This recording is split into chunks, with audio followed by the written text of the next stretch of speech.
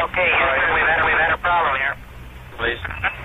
Uh, we've had a ma- So what happens when you take a gummy bear and you put it into pure oxygen that's hot?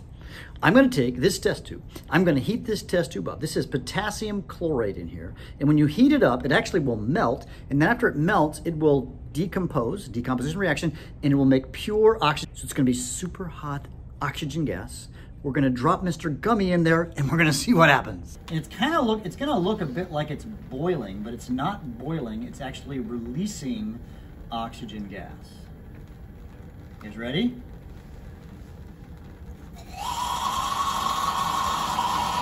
Now, is that cool or what? Oh yeah, I saw some TikTok.